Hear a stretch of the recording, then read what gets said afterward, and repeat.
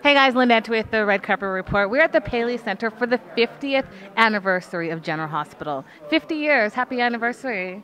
We're going to talk to a lot of the cast, so come on, let's go check it out. Red Carpet Report. So nice to meet you. Love the dress. Thank you. Gorgeous. So your character is new-ish. Newish. Can you tell our viewers a little bit about your character? Well, I play Nurse Sabrina Santiago, and um, she's been very shy and reserved and completely enamored by this guy over here. Um, and but lately you've seen, been seeing her coming out of her shell, and there was recently a really big reveal where she's completely transformed. She got a makeover, so that was a lot of fun.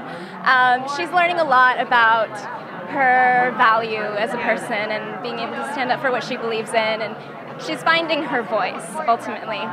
I love that. She sounds so nice, and her character is like the nice one. Yeah. But her love interest kind of has like a lot going on babies and all of that. How do you feel about that?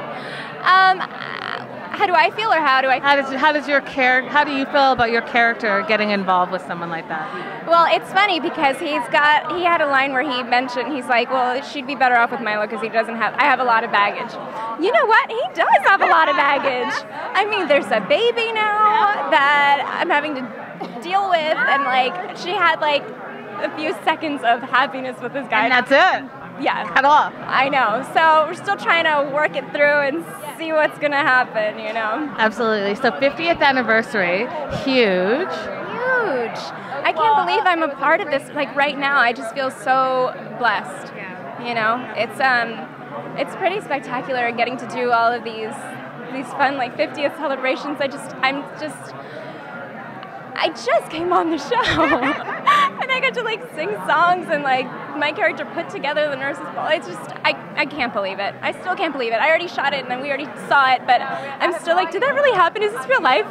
I love that. Well, congratulations and much, much success in your character. Be careful, beware. I know. I gotta watch my back. That's right. Thank you. Thank you. Thanks for watching. If you like this video, make sure you like or subscribe. I'm Linda Antwi, or am I? I might be Linda's evil twin. Bye, guys.